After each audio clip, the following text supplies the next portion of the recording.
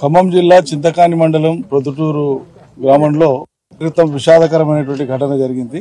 చాలా బాధాకరం దురదృష్టకరం. భోజండ్ల ప్రభాకర్ అనేటువంటి రైతు తనకు జరగవలసినటువంటి న్యాయం జరగని కారణంగా న్యాయం జరగదనేటువంటి ఒక బాధతో న్యాయం చేయడానికి ఇక్కడ ఉండేటువంటి అధికారులు గాని ప్రజాప్రతినిధులు గాని సుముఖంగా లేరు. పైగా అన్యాయం చేయడానికే వాళ్ళు కట్టుబడి ఉన్నారని అర్థమైన తర్వాత ఆయన బలవన్మరణం చెందడం జరిగింది. చాలా చాలా బాధాకరమైనటువంటిది.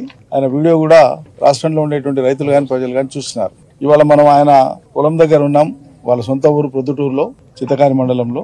ఇవాళ నాతో పాటు గౌరవ శాసనసభ్యులు శ్రీ పల్లా రాజేశ్వరరెడ్డి గారు మాజీ శాసనసభ్యులు శ్రీ వీరయ్య గారు శాసన మండలి సభ్యులు శ్రీ మధు గారు జిల్లా పార్టీ అధ్యక్షులు. అదేవిధంగా జిల్లా పరిషత్ ఓకే జిల్లా పరిషత్ టీఆర్ఎస్ పార్టీ ఇన్ఛార్జ్. ఇటీవల ఎన్నికల్లో పోటీ చేసినటువంటి అభ్యర్థి బీఆర్ఎస్ నుంచి శ్రీ కమల్ రాజు గారు అదేవిధంగా రాకేష్ రెడ్డి గారు అనేక మంది సోదరులు అందరం కలిపి ఇవాళ డెలిగేషన్గా రావడం జరిగింది. ఇక్కడ వాస్తవం ఏందో ప్రజల్ని అడిగి కనుక్కుందామని. ఇక్కడ దాదాపు వెయ్యి మంది ప్రజలు ఇక్కడ జమగూడి ఉన్నారు. రైతులందరూ వచ్చి ఉన్నారు. అందరూ చెప్పేది ఒకటే మాట.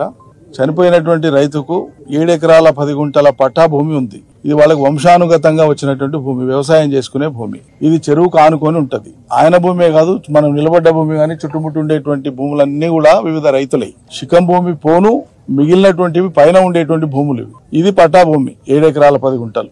అయితే ఆయన భూమికి వచ్చేటువంటి దారిని అదే విధంగా ఆయన భూమిని భూమిలోకి చొరబడి ఐదారు రోజుల పాటు పెద్ద మిషన్లు పొక్లైనర్లు హిటాచీలు పెట్టేసి ఆయన భూమిలో ట్రెంచ్ కొట్టేసినారు. చాలా భారీ ట్రెంచ్ కొట్టేసినారు. ఈ కొట్టిన వాళ్ళు ఎవరు?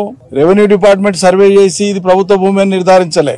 లేదా ఎవరైనా సర్వేకి పెడితే పక్క రైతులు సర్వేకి పెడితే నిర్ధారించలే. ఇది ఆయన పట్టాభూమి.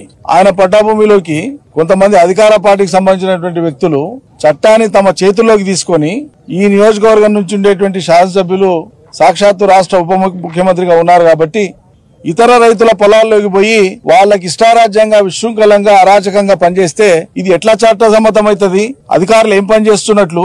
అధికారులకు పోయి ఆయన మొరబెట్టుకుంటే అధికారులు రారు అధికారులు పట్టించుకోరు. అధికారుల యొక్క ఉదాసీనత అధికార పార్టీ యొక్క అరాచకం వెరసి ఆ రైతును మాకెవరిగా దిక్కేలేరు కదా అని చెప్పి ఆయన బలవన్ మరణం పొందాల్సి వచ్చింది ఇది రాష్ట్రంలో ఉండేటువంటి దుస్థితి.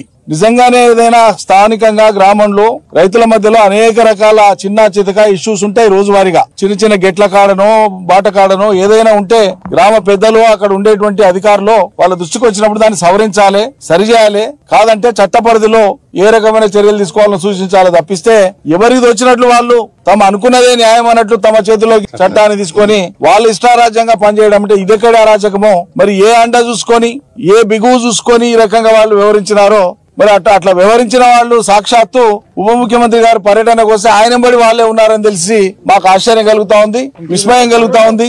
ఇదేం పరిస్థితి? మరి దీని మీద తప్పకుండా వారే వివరణ ఇవ్వాలి మేము డిమాండ్ చేస్తున్నాం రాష్ట్ర ప్రభుత్వాన్ని. ఈ రైతు కుటుంబాన్ని ఆదుకోవడం అనేది చిన్న మాట. దీనికి కారణమైనటువంటి వాళ్ళను బేషరతుగా శిక్షించాలి. ఆ రైతు పొలంలో అక్రమంగా చొరబడి మిషన్లు పెట్టినటువంటి వాళ్ళను తక్షణమే అరెస్ట్ చేయాలి. ఆ రైతు కుటుంబానికి జరిగినటువంటి ఆ భూమికి వాళ్ళు చేసినటువంటి నష్టానికి పదంతల పరిహారం ఇవ్వాలి దాంతో పాటు ఆ రైతు కుటుంబాన్ని ఆదుకొని ఆ కుటుంబానికి ఒక ఆదే రుజువుపేటువంటి బాధ్యత ప్రభుత్వానికి ఉంది. మరి ప్రభుత్వంలో ముఖ్యమంత్రి తర్వాత రెండో స్థానంలో ఉండేది ఉప ముఖ్యమంత్రి. ఆయన నియోజకవర్గంలోనే జరిగింది ఇది. నేను ఆయన ప్రమేయంతో జరిగిందన్న మాట నేను అనను కానీ ఆయనకు ప్రమేయం లేదని రుజువు చేసుకునే బాధ్యత ఆయనకు ఉంది ఎందుకంటే ఆయన అనుచర వర్గమే చేసింది. తనకు తెలియకుండా జరిగింది. నేను దీన్ని సరిదిద్దా అనేటువంటి మానసిక ధైర్యాన్ని ఇవ్వడం ఈ నియోజకవర్గ ఎమ్మెల్యేగా ఆయన బాధ్యత.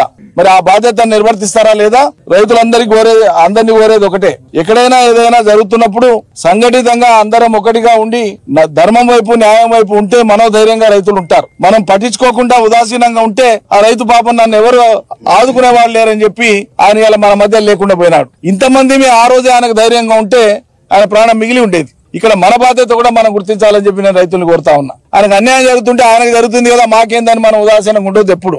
ఎవరికి ఏ ఇబ్బంది వచ్చినా అందరం సంఘటితంగా కదలాలి. ఆ కుటుంబానికి కేసీఆర్ గారు తమ ప్రగాఢమైనటువంటి సానుభూతిని తెలియజేయమన్నారు.